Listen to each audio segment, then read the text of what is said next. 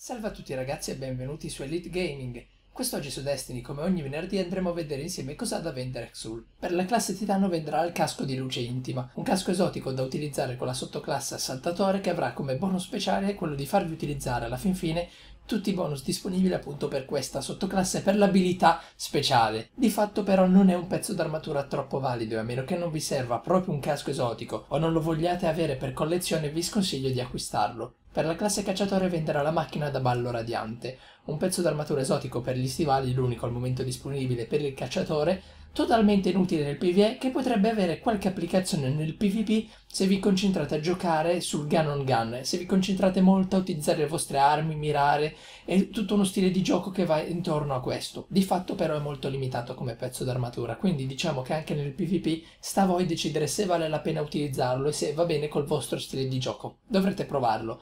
Acquistarlo o non acquistarlo? Io direi che alla fin fine conviene acquistarlo e perlomeno provarlo. Per la classe dello stregone venderà le bestie del morso vuoto. Come vi ho detto ormai 200 volte, visto che le avrà già vendute 200 volte, buon pezzo d'armatura da utilizzare con la sottoclasse camminatore del vuoto, non il migliore per lo stregone, ma lo stesso valido, quindi vi consiglio di acquistarlo. L'arma esotica di questa settimana infine sarà l'ultima parola, una revolver, un cannone portatile molto molto forte nel PvP, abbastanza scarso nel PvE ma alla fin fine.